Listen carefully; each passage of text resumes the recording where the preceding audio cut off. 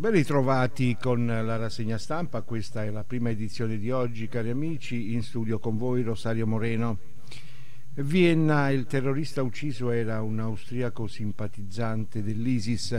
Le indagini dicono che in massimo quattro autori dell'attacco, arresti e perquisizioni comunque sono in corso. Quattro le vittime, 17 i feriti, sei rischiano la vita. Vienna resta in stato di massima allerta. Al momento ci sono mille agenti di polizia dispiegati in città e le indagini sono in pieno svolgimento. Le autorità hanno invitato la gente ad evitare il centro della città. Le previsioni sugli ospedali che spingono ai lockdown locali, insomma c'è una tabella eh, appunto nel penultimo monitoraggio dell'Istituto Superiore di Sanità consegnato il 31 ottobre che ancora più eh, dell'aumento dei casi del tasso di riproduzione del virus RT fino a 1,7 con punte oltre 2 in Lombardia e in Piemonte, ha convinto il Ministro della Salute Roberto Speranza dell'urgenza di procedere con misure più drastiche. Nuovo DPCM insomma, verso la conferma delle lezioni in presenza per elementari e medie, didattica a distanza per tutte le scuole superiori. Nelle ultime ore da più fonti della maggioranza e da Viale Trastevere è arrivata la conferma che le medie continueranno ad essere in presenza. I ragazzi e gli insegnanti del primo ciclo nelle regioni che non hanno già applicato ordinanze più restrittivi come Puglia e Campania andranno ancora in classe, almeno finché la curva dei contagi non aumenterà ancora. Black Lives Matter, eh, gli attivisti che votano Biden perché tutto è meglio di Trump. Attesa per eh, le elezioni è una promessa, siamo qui per restare. Covid, abusi della polizia ed esclusione sociale hanno fatto esplodere i Black Lives Matter che ha dato vita alle proteste più vaste della storia americana, portando nelle strade circa 26 milioni di persone.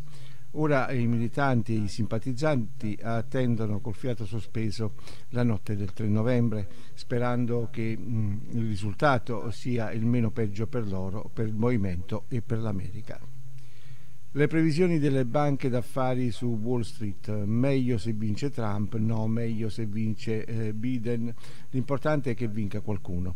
L'incubo è quello di una vittoria di misura o peggio contestata.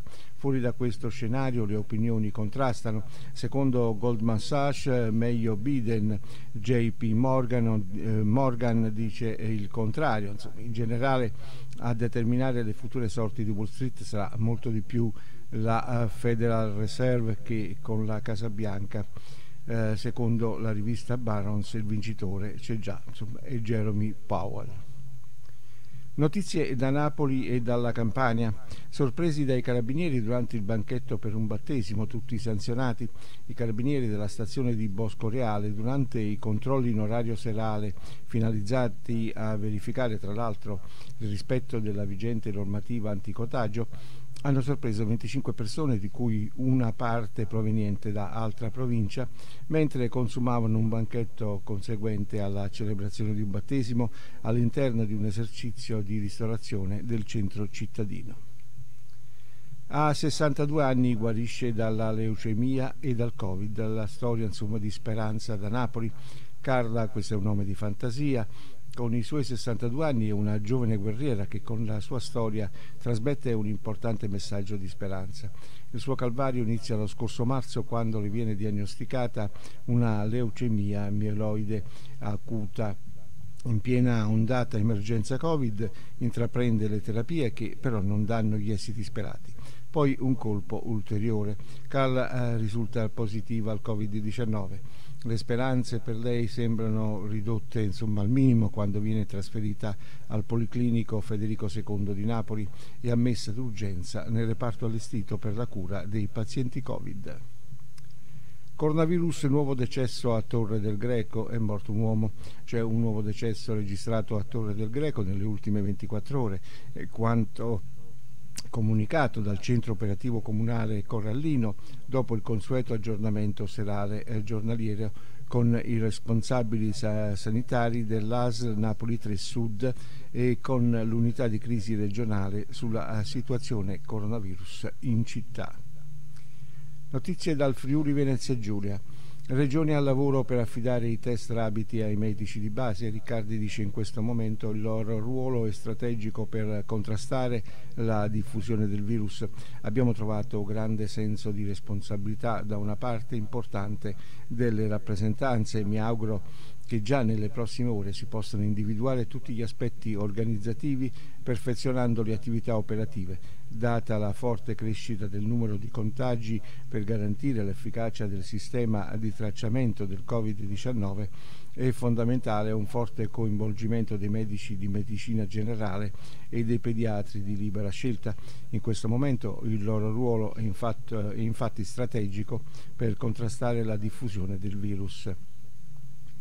Coronavirus 218 nuovi contagi e 5 decessi in Friuli Venezia Giulia, consueto calo dei positivi come ogni lunedì che appunto a ieri a fronte del minor numero di tamponi che erano 2557 eseguiti nel weekend. Tra i morti una 62enne di San Vito e un 74enne di Maiano in Friuli Venezia Giulia sono stati rilevati, quindi abbiamo detto, 218 nuovi contagi a fronte di 2.557 tamponi eseguiti e 5 decessi Covid-19.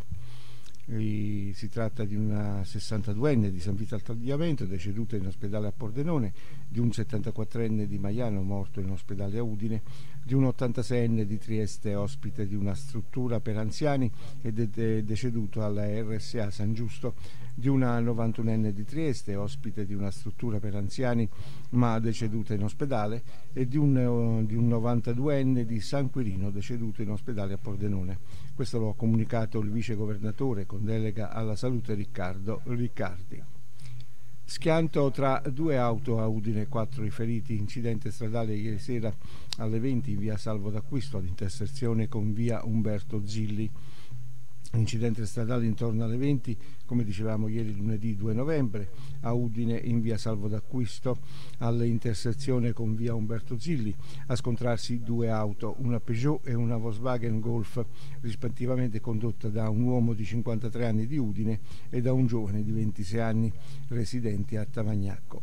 Nell'impatto sono rimasti feriti il 53enne e tre persone che viaggiavano come passeggeri sulla Golf tutti trasportati per accertamenti al pronto soccorso dell'ospedale Santa Maria della Misericordia di Udine.